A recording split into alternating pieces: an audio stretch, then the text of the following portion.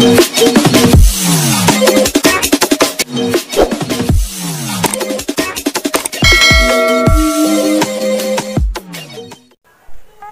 છે બાળ દોસ્તો?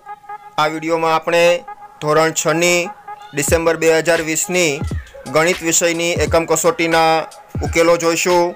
વિડીયોને શેર અને લાઇક ચોક્કસ કરજો અને હજુ સુધી ચેનલને સબસ્ક્રાઈબ ન કરી હોય તો સબસ્ક્રાઈબ પણ કરી દેજો. વિદ્યાર્થી મિત્રો ડિસેમ્બર બે હજાર વીસ ધોરણ છનું ગણિતનું પ્રશ્નપત્ર આપ જોઈ શકો છો. હવે આપણે ફટાફટ તેમનો ઉકેલ મેળવીએ. તો પ્રશ્ન એકમાં આપણને માગ્યા મુજબ જવાબ આપવાનું કહ્યું છે. આ રીતે રકમ આપી છે આપણને. સાતસો વત્તા વીસ વત્તા નવના છેદમાં સો. તો સાતસો વત્તા વીસ એટલે સાતસો વીસ થઈ જશે. વત્તા નવના છેદમાં સો. તો તેને આપણે ઝીરો પોઈન્ટ ઝીરો નવ લખી શકીએ અને હવે આ બંનેનો સરવાળો કરીએ એટલે સાતસો વીસ પોઈન્ટ ઝીરો નવ આપણો જવાબ આવશે. ત્યારબાદ અગિયાર પોઈન્ટ ઝીરો આઠ શબ્દોમાં લખવાનું કહ્યું છે. તો શબ્દોમાં આપણે આ રીતે લખી શકીએ. અગિયાર દશાંશ શૂન્ય આઠ. આ આપણો જવાબ આવશે. ત્યારબાદ ત્રીજી રકમમાં આપણને સ્થાન કિંમત કોષ્ટકમાં બતાવવાનું કહ્યું છે. રકમ આપી છે અઢાર પોઈન્ટ પાસઠ. તો આપણે જાણીએ છીએ દશાંશ ચિહ્નની ડાબી બાજુ છે તે આપણું એકમ દશક ગણાશે. એટલે એકમના સ્થાનમાં આઠ આવશે, દશકના સ્થાનમાં એક આવશે. ત્યાર પછી દશાંશ, શતાંશ અને સહસ્ત્રાંશ તે રીતે આપણા આંકડા આવશે. તો દશાંશની જગ્યાએ છ અને શતાંશમાં આવશે પાંચ. ચોથામાં અતિ સંક્ષિપ્ત રૂપ આપવાનું કહ્યું છે. તો ઝીરો પોઈન્ટ પચીસને આપણે દશાંશ ચિહ્ન દૂર કરીએ, તો પચીસના છેદમાં સો લખી શકાય. હવે પચીસના આપણે ભાગ પાડી શકીએ. પચીસ એકા પચીસ અને સોના ભાગ પડશે પચીસ ચોક સો. પચીસ પચીસ કેન્સલ થશે એટલે એકના છેદમાં ચાર આપણું અતિ સંક્ષિપ્ત રૂપ આવશે. ત્યારબાદ જોઈએ પ્રશ્ન નંબર બે. પ્રશ્ન બેમાં આપણને ગુરુત્તમ કે લઘુત્તમ ચિહ્નનો ઉપયોગ કરવાનું કહ્યું છે. એટલે કે કઈ સંખ્યા નાની છે અને કઈ સંખ્યા મોટી છે તે જણાવવાનું કહ્યું છે. તો જોઈએ તેના ઉકેલો. ઝીરો પોઈન્ટ પાંચ અને ઝીરો પોઈન્ટ છ. તો આપણે જાણીએ છીએ ઝીરો પોઈન્ટ છ મોટા છે. એટલે મોટી સંખ્યા નાની સંખ્યાને કોણી મારશે એવી રીતે આપ યાદ રાખી શકો છો. આ ચિહ્નને આપણે લઘુત્તમ તરીકે ઓળખીશું. ત્યાર પછી ચાર અને ઝીરો પોઈન્ટ નવ તો ચાર મોટા કહેવાશે એટલે વચ્ચે ગુરુત્તમનું ચિહ્ન આવશે. ઝીરો પોઈન્ટ ચાર અને ઝીરો પોઈન્ટ ઝીરો ચાર તો અહીં જો આપણે દશાંશ અને શતાંશ મેળવીએ તો આ સંખ્યા આપણી ઝીરો પોઈન્ટ ચાલીસ ગણાશે અને આ સંખ્યા ગણાશે ઝીરો પોઈન્ટ ચાર. તો હવે ઝીરો પોઈન્ટ ચાલીસ મોટા કહેવાય, ઝીરો પોઈન્ટ ઝીરો ચાર નાના છે એટલે વચ્ચે ગુરુત્તમ આવશે. ત્યારબાદ એક પોઈન્ટ પાંચસો એકત્રીસ અને એક પોઈન્ટ પાંચસો નેવું. તો પાંચસો નેવું મોટા કહેવાશે એટલે લઘુત્તમ આવશે અને છ પોઈન્ટ ચોસઠ અને છ પોઈન્ટ છસો ત્રણ. અહીં પણ આપણે દશાંશ, શતાંશ અને સહસ્ત્રાંશ મેળવીએ તો આ રકમ આપણી થશે છ પોઈન્ટ છસો ચાલીસ અને આ રકમ છે છ પોઈન્ટ છસો ત્રણ. તો છ પોઈન્ટ છસો ચાલીસ મોટા કહેવાશે. એટલે અહીં ગુરુત્તમ ચિહ્ન આવશે. ત્યારબાદ જોઈએ આપણે પ્રશ્ન નંબર ત્રણ. પ્રશ્ન ત્રણમાં દશાંશ અપૂર્ણાંકમાં રૂપાંતર કરવાનું કહ્યું છે. સૌ પ્રથમ આપણને કહ્યું છે પાંચસો ગ્રામ.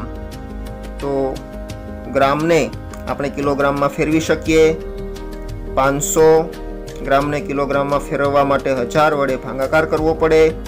તો પાંચસો ભાગ્યા હજાર એટલે જીરો પોઈન્ટ પાંચસો અથવા તો જીરો પોઈન્ટ પાંચ કિગ્રા કિલોગ્રામ આપણે લખી શકીએ. ત્યારબાદ ચાર મીટર પંચાવન સેમી કહ્યું છે? તો ચાર મીટર વત્તા પંચાવન સેમી. તો મીટર જે છે તે એમનેમ રહેશે ચાર મીટર વત્તા પંચાવન સેમીને જો મીટરમાં રૂપાંતર કરવું હોય તો સો વડે ભાગાકાર થશે ચાર વત્તા પંચાવન ભાગ્યા સો એટલે થશે જીરો પોઈન્ટ પંચાવન. બંનેનો સરવાળો કરીએ તો ચાર પોઈન્ટ પંચાવન મીટર. આપણો જવાબ આવશે. તેવી જ રીતે સાહીઠ રૂપિયા એંસી પૈસા તો સાહીઠ રૂપિયા એમનેમ રહેશે.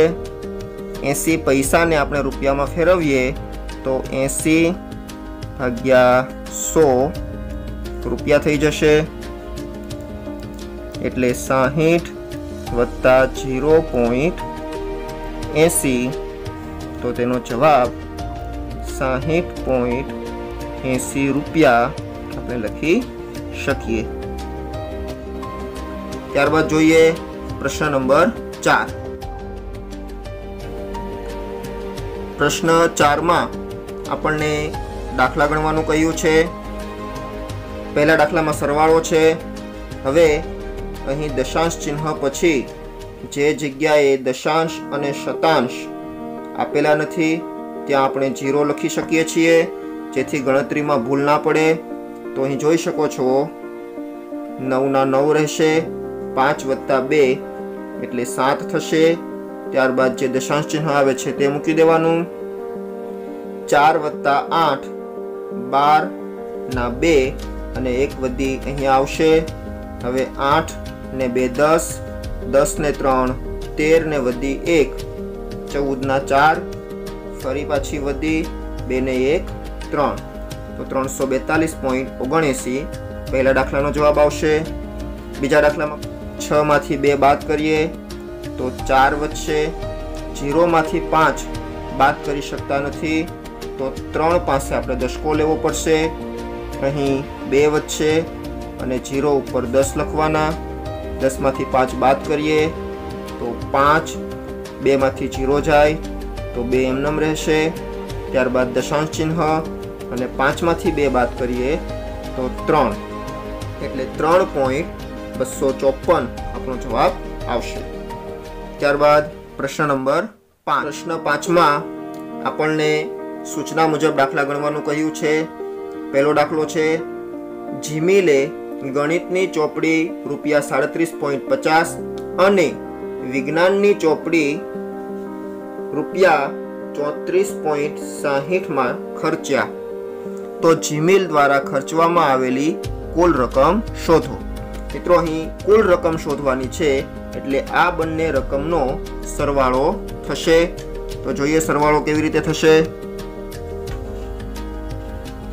તો આપ જોઈ શકો છો જીરો વત્તા જીરો એટલે જીરો પાંચ વત્તા છ કરીએ, અગિયાર નવ એક આવશે. વધી એક અહીંયા આવશે. ત્યારબાદ દશાંશ ચિહ્ન. હવે સાત ને એક આઠ આઠ વત્તા ચાર એટલે બારના બે વધી ફરી એક, ત્રણ ને ત્રણ, છ ને એક, સાત. એટલે જીમેલ દ્વારા ખર્ચવામાં આવેલી કુલ રકમ બોતેર પોઈન્ટ દસ રૂપિયા આપણને જવાબ મળશે. ત્યારબાદ દાખલા નંબર બે જોઈએ.